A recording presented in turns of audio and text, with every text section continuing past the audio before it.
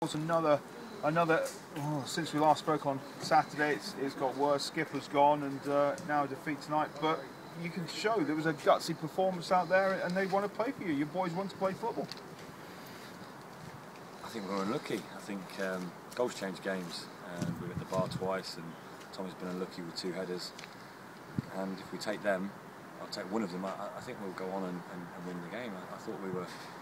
I thought the first half was fairly even. I don't think they were better than us, and I don't think we can claim we were better than them. But they've gone in, won the look, they took the chance. Second half, for, for 30 odd minutes, 35 minutes, I thought we absolutely bopped them. I don't think they could contain us. And like I said, we hit the bar twice. And if one of those goes in, I, I think we then go on and, and win the game. But credit to them, they came they came here and they're they're a, uh, a playoff team. They're always going to be difficult to beat, and when you've got seven first team players missing, um, it's tough. But Tommy and I can't can't speak highly enough of our players tonight.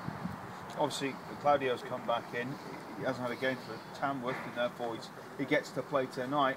But you don't have that that uh, you know that luxury at the weekend, do you? Not at the minute. We'll try and get in his ear and try and persuade him to come, but that's that's very unlikely. And then again, Tommy and I will have to plan and try to come up with a, another team or a replacement that, that's strong enough to, to, try and get a result, and that's, that's our job. Uh, a quick word on Gareth Jellyman, club skipper for this season. Um, kind of handed in his cards yesterday. Any further comment on that at all? I'd just like to thank Gareth for, for being here and supporting us. He's big advocates of Tommy and I. He, he supported us all the way. It, it, it's, it's a horrible situation. It's not something that Tommy and I are particularly happy with.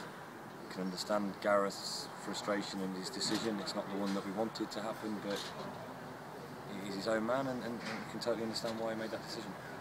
We wish, it, we wish him all the best. Tommy, coming to you, obviously uh, you pulled on a number nine shirt tonight. You're back in your predatory uh, best up front. At one point, it didn't quite.